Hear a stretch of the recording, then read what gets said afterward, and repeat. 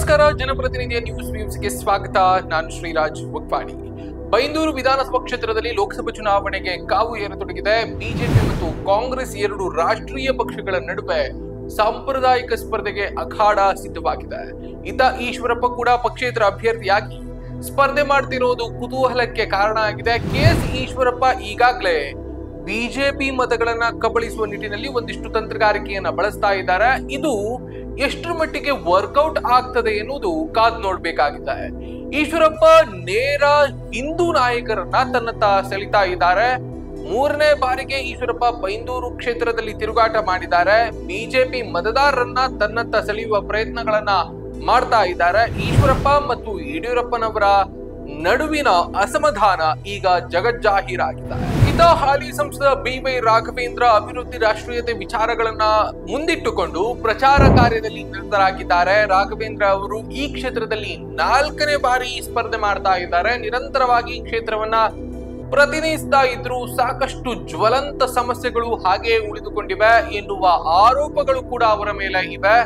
ಸಂಸದರು ಶಿವಮೊಗ್ಗ ಜಿಲ್ಲೆಗೆ ತೋರಿರುವ ಪ್ರೀತಿ ಕಾಳಜಿ ಬೈಂದೂರು ಕ್ಷೇತ್ರಕ್ಕೆ ತೋರಿಸೋದಿಲ್ಲ ಎನ್ನುವ ಟೀಕೆ ಕೂಡ ಇದೆ. ಕಾಂಗ್ರೆಸ್ ಕೂಡ ಇದನ್ನ ಬಲವಾಗಿ ಆರೋಪಿಸ್ತಾ ಇದೆ. ಆದ್ರೆ ರಾಘವೇಂದ್ರ ಅವರು ಗೆಲುವಿನ ಬಗ್ಗೆ ಬಲವಾದ ಆತ್ಮವಿಶ್ವಾಸವನ್ನ ಇಟ್ಟುಕೊಂಡಿದ್ದಾರೆ. ಇಲ್ಲಿ ಬಿಜೆಪಿ ಎಲ್ಲಾ ಬೂತ್ ಮಟ್ಟಕ್ಕೆ ಶಾಸಕರ ನೇತೃತ್ವದಲ್ಲಿ ತಲುಪುವ ಪ್ರಯತ್ನ ಮಾಡಿದೆ.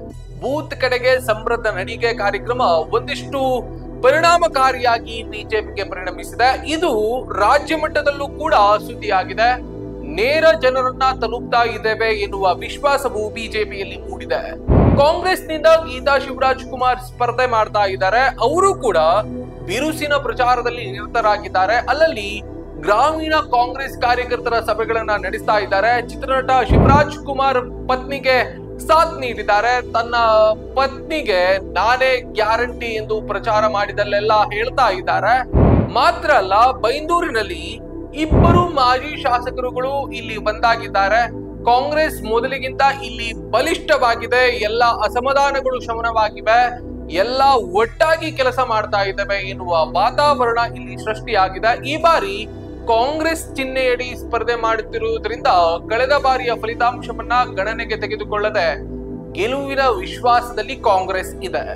ಕಾಂಗ್ರೆಸ್ ಗೆಲ್ಲಿಸಲು ಬೈಂದೂರಿನಲ್ಲಿ ಮಾಜಿಗಳಿಬ್ಬರು ಹರಸಾಹಸ ಪಡ್ತಾ ಇದ್ದಾರೆ ಅನ್ನುವಂತಹ ವಾತಾವರಣ ಈಗ ನಮಗೆ ಕಾಣ ಸಿಗ್ತಾ ಇರುವಂತದ್ದು ಬೈಂದೂರು ವಿಧಾನಸಭಾ ಕ್ಷೇತ್ರ ಇತ್ತೀಚೆಗಿನ ವರ್ಷಗಳಲ್ಲಿ ಬಿಜೆಪಿಯ ಭದ್ರಕೋಟೆ ಆಗಿದೆ. ಈ ಚುನಾವಣೆಯಲ್ಲಿ ಬಿಜೆಪಿಯ ಭದ್ರಕೋಟೆಯನ್ನ ಛಿದ್ರಗೊಳಿಸಲು ಕಾಂಗ್ರೆಸ್ ಸನ್ನದ್ಧವಾಗಿದೆ. ಮಾಜಿ ಶಾಸಕರುಗಳಾದ ಕೆ. ಗೋಪಾಲ್ ಪೂಜಾರಿ ಹಾಗೂ ಬಿಎಂ ಸುಕುಮಾರ್ ಶೆಟ್ಟಿ ತಮ್ಮ ಅಭ್ಯರ್ಥಿ ಗೀತಾ ಶಿವರಾಜ್ ಕುಮಾರ್ ಗೆಲ್ಲಿಸಲು ಶತಾಯಗತಾಯ ಪ್ರಯತ್ನ ಮಾಡ್ತಾ ಇದ್ದಾರೆ. ಬೈಂದೂರು ಕ್ಷೇತ್ರದಲ್ಲಿ ಕಾಂಗ್ರೆಸ್ ಲೀಡ್ ತಂದು ಕೊಡುವ ನಿಟ್ಟಿನಲ್ಲಿ ಇಬ್ಬರು ಮಾಜಿಗಳು ಬಿರುಸಿನ ಪ್ರಚಾರ ಕಾರ್ಯದಲ್ಲಿ ನಿರತರಾಗಿದ್ದಾರೆ.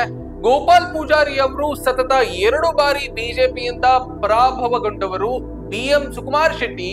ಕಳೆದ ಬಾರಿ ಬಿಜೆಪಿಯಿಂದ ಟಿಕೆಟ್ ಸಿಗದೆ ತಟಸ್ಥರಾಗಿ ಉಳಿದು ಇತ್ತೀಚೆಗಷ್ಟೇ ಕಾಂಗ್ರೆಸ್ ಸೇರ್ಪಡೆಗೊಂಡವರು ತನಗೆ ಟಿಕೆಟ್ ಕೊಡದೆ ವಂಚಿಸಿರುವ ಸೇಡನ್ನ ತೀರಿಸಿಕೊಳ್ಳಲು ಪ್ರಯತ್ನ ಮಾಡ್ತಾ ಇದ್ದಾರೆ.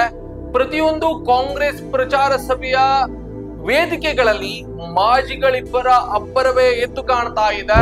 ಬೈಂದೂರು ಕ್ಷೇತ್ರದಲ್ಲಿ ಮತ್ತೆ ಕೈಬಲಗೊಳಿಸುವ ಹೋರಾಟ ನಡೀತಾ ಇದೆ. ಇದಕ್ಕೆ ಮತದಾರ ಪ್ರಭು ಯಾವ ರೀತಿ ತೀರ್ಪು ನೀಡ್ತಾನೆ ಎನ್ನೋದನ್ನ ನಾವು ಕಾದು ನೋಡಬೇಕಾಗಿದೆ. ಇದಿಷ್ಟನ್ನ ಹೇಳುವ ಪ್ರಯತ್ನ ನಮ್ಮದಾಗಿದ್ದು, ಇದು ನಿಮಗೆ ಇಷ್ಟವಾಗಿದೆ ಎಂದು ಭಾವಿಸ್ತೇವೆ. ಮತ್ತಷ್ಟು ಸ್ಥಳೀಯ ಹಾಗೂ ವಿಶೇಷ ವರದಿಗಳಿಗಾಗಿ ಜನಪ್ರತಿನಿಧಿ ಯೂಟ್ಯೂಬ್ ಚಾನಲ್ ಅನ್ನ ಸಬ್ಸ್ಕ್ರೈಬ್ ಮಾಡಿ, ನಮ್ಮ ಕಂಟೆಂಟ್ಗಳು ನಿಮಗೆ ಇಷ್ಟವಾದಲ್ಲಿ ಶೇರ್ ಮಾಡಿ, ನಿಮ್ಮ ಅನಿಸಿಕೆಗಳನ್ನ ಕಮೆಂಟ್ ಮೂಲಕ ಹಂಚಿಕೊಳ್ಳಿ. ನಮಸ್ಕಾರ.